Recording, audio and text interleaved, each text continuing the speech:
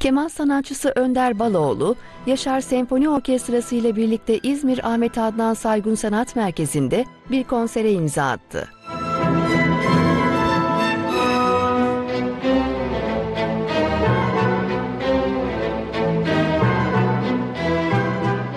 Baloğlu konserde keman repertuarının önemli eserlerinden olan Felix Mendelssohn Keman Konçertosunu solist olarak Mozart'ın 40. senfonisini ise baş kemancı pozisyonunda yönetti.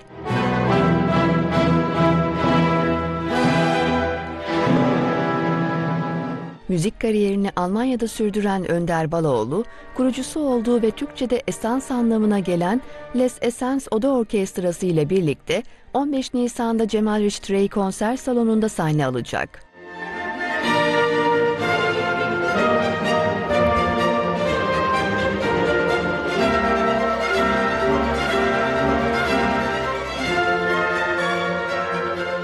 Almanya'da kurulan Oda Orkestrası uluslararası ilk konserinde Viyana kuşatmasından itibaren Avrupa'da derin izler bırakan Osmanlı kültürünü barok ve klasik dönem bestecilerinin eserleri eşliğinde sahneye taşıyacak.